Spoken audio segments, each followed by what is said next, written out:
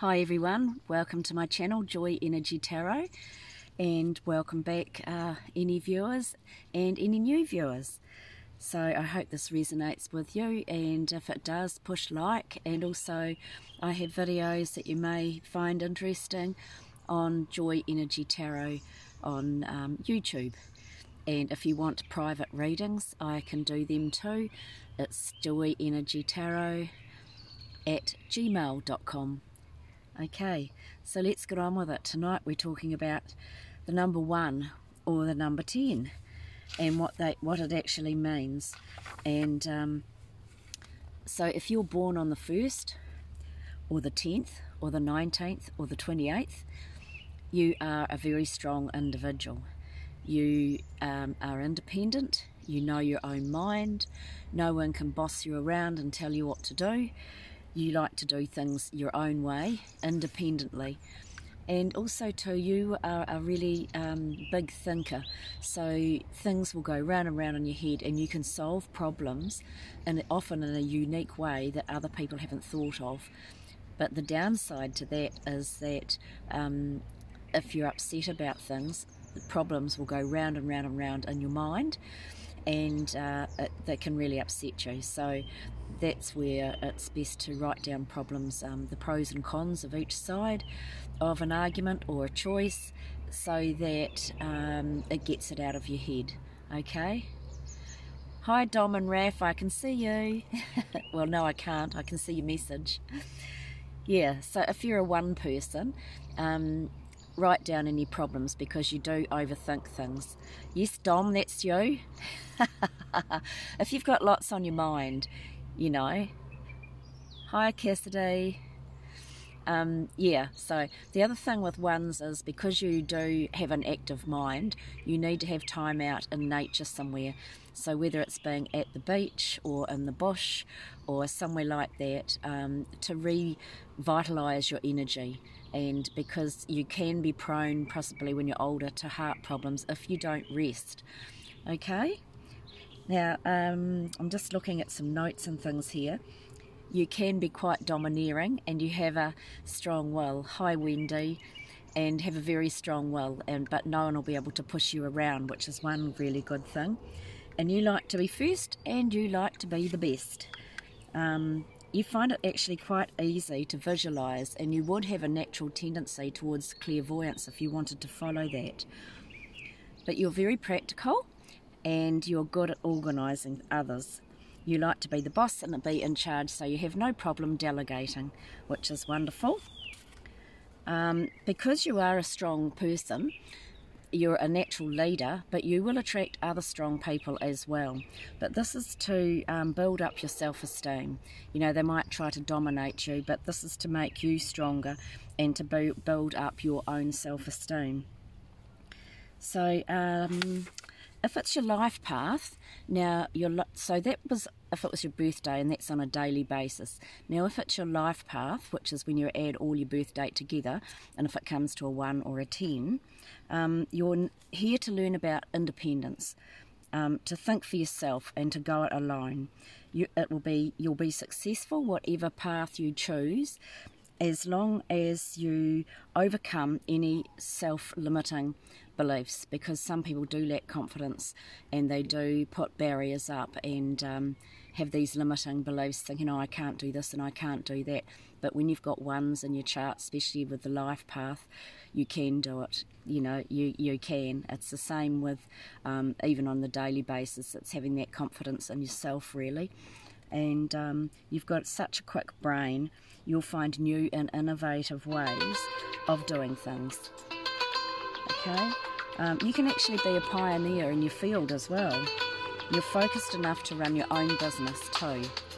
Okay, so that's about the, the um, tens and or one. A 10 is probably a bit stronger than a 1 because a 10 is has the 0 as well and the 0 is like um, a direct line to heaven or the spirit world.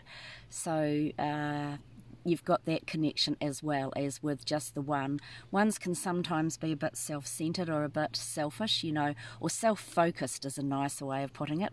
Me, me, me, me, which in lots of ways can be really good, okay? So uh, now let me see. I've asked for some guiding cards too, and uh, to get people through, you know, this time of the year because it is a bit stressful for some of you. So today I've used um, Keepers of the Light, these lovely uh, cards here, and asked for a guiding card. So the card today is Kuthumi. Right, let's see if we can. The light's not that good in here, is it? So there he is. Look at him. Isn't he awesome? So, Kuthumi, what that means is, sorry, I've got to use a torch here because I'm in my tent. um, knowledge is learned, wisdom is remembered. You are in a real cloak of wisdom now. Like Kuthumi, you've been on a wandering path, trying to find answers through study and the insights of others. But now you're uncovering the truth of your own soul. Your soul is leading the way, and you're being encouraged to follow.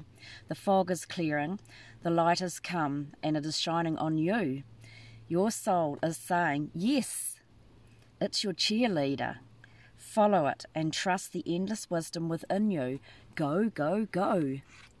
So there you go. Whatever you're trying to do or whatever you're trying to achieve, don't hold yourself back because you've got the ability to make it happen and to do it. Okay? And I'll just try and get this light a bit better. That's a little bit better. There you go. All right, so lovely Louise. Hey, I always love her cards. So um, get a bit closer. That might be better. Um, so Louise's card for today is I am a harmonious being. Isn't that gorgeous? Lovely colours. I am a harmonious being. So, what she's telling you is um, I am in harmony with all of the people, places, and things that surround me in this world. I am at peace. So, that's just a reminder to um, be harmonious within yourself. So, don't buy into other people's negative thinking or um, other people's arguments or any fighting that might be going on around you or gossip that might be third hand and not true whatsoever. So um, it's telling you just to be at peace within yourself and then you'll feel a lot calmer and then you're able to cope with the things that come your way. Okay, so we'll have a little guiding message too from the divine divine directions. We'll ask for um, a guiding message from there too because they're quite nice. Okay, can we please have spirit? Can we please have? Oh, one flew out straight away. I didn't even have to ask for much. Home. Okay, home. It's time to renovate or change something in your home environment or move home. So I don't know if that uh, relate. If any of you can relate to that. Know it's time for me to move home. I've got a motorhome on order, but they can't tell me when. So this is my little wee whare and I've got the sunset at my door, so I'm very, very blessed. I'm very lucky, and I've got a roof over my head, and it doesn't leak, so I'm I'm lucky. And does anybody want to ask any questions about numbers? You can just type them in there. There's live messages.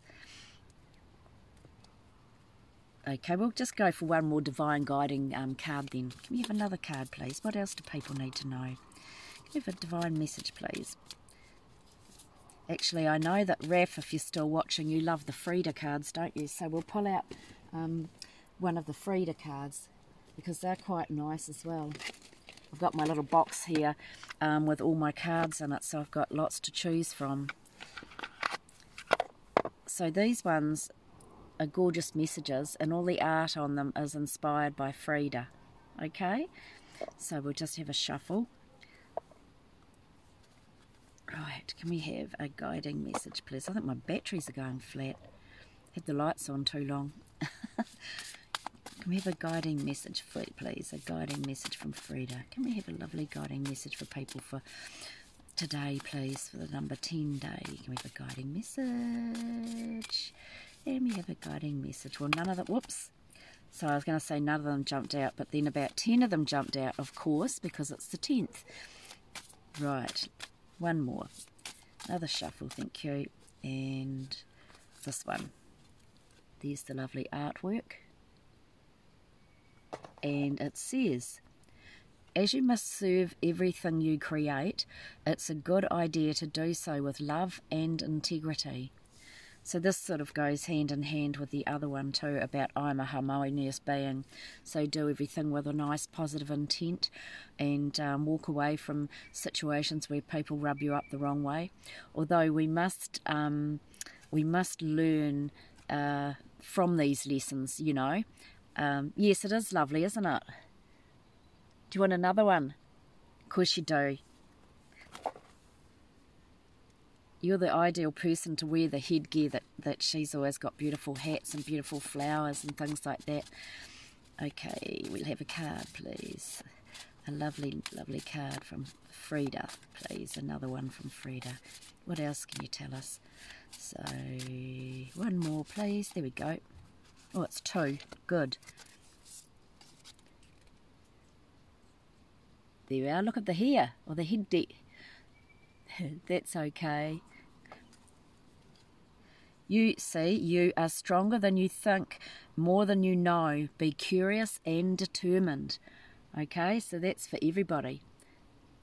We often think we can't cope with things and we're not strong enough, but we're actually a lot stronger than what we think we are.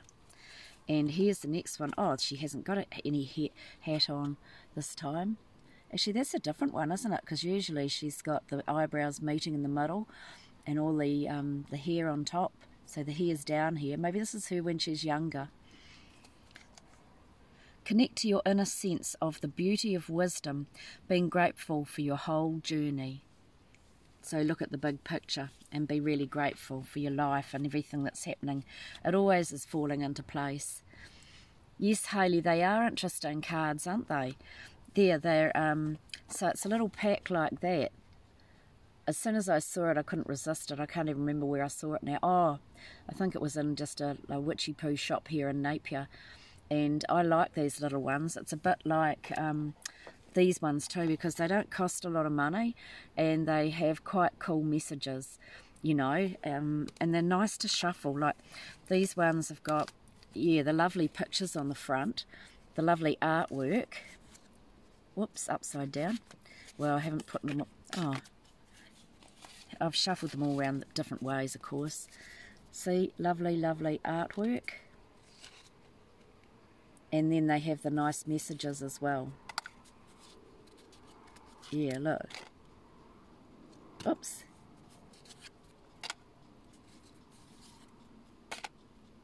Yeah, see?